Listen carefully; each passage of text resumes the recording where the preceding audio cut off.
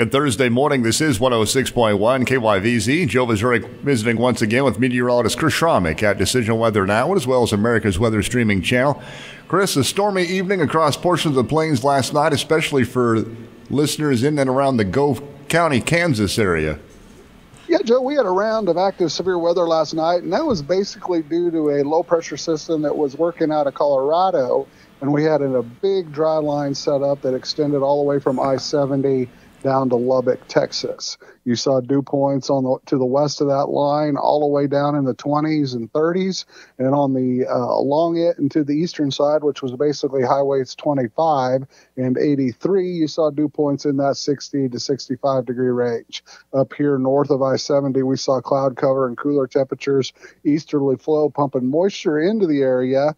Uh, so that kind of inhibited any development further north in that Gove County or just south of I 70 in that tornado watch that was issued yesterday after late afternoon and evening.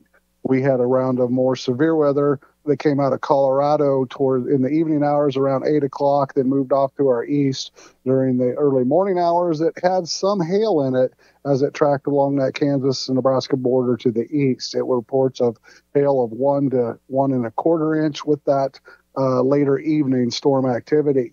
But when we were looking at that tornado watch area, we saw two areas of tornadic large hail set up.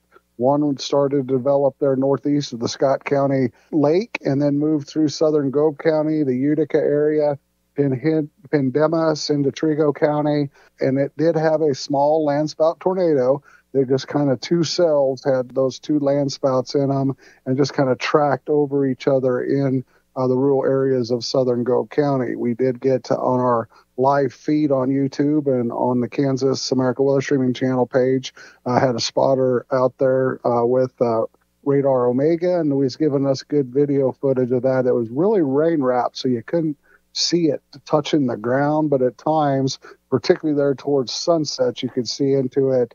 And there was several trained spotters that reported that to the weather service. The other thing was the four inch hail. There was three reports of four inch plus hail in Gove County. And the same with that storm in Texas. I mean, that large watch area box, there was only two really big storms. There was a couple down there in Texas that just did the same thing. They kind of set in the same area, had four inch hail reports with them. And the small tornado landspout, you know, F1 type tornadic activity. Um, so that was kind of rare to have such a big dispersity of location along a large dry line like that and only uh, two or three areas that were really affected the whole evening. Rainfall in those areas picked up, you know, got two, three inches. Could have been some localized flooding. Uh, we more generally saw anywhere from a quarter to three quarter inch across the northwest round of weather that came in. There may have been some locally one inch amounts, but today with that system will pull off to the Midwest. We'll see temperatures cooler in the lower 60s. We got a northwest breeze here this morning, 15 to 30 miles per hour. Temperatures are starting out in the middle 40s, upper 40s across the entire area. Those winds will die down this afternoon at 10 to 20, turn to the southeast overnight at 10 miles per hour. Lows will drop to around 40. Tomorrow will warm up into the 70 to 75 degree range with gusty south winds 20 to 30 miles per hour. Then we got a round of storms that'll come through after 4 p.m. and in the evening. Again, we could see some large hail, wind gusts up to 60 miles per hour, and maybe some locally heavy rain with this one. It does look like it's going to have some nice moisture and rainfall with it. Could pick up a quarter to three quarters inch. Some locally one inch plus amounts are possible. And then as we head towards Saturday, we'll see the high pressure build in.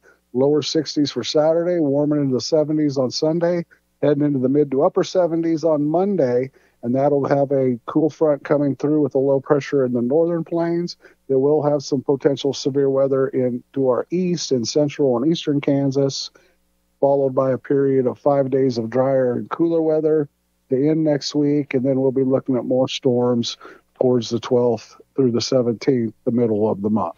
Once again, that's Ag Meteorologist Chris Schromick at Decision Weather Now, as well as America's Weather Streaming Channel for KYVZ Radio. I'm Joe Vazuri.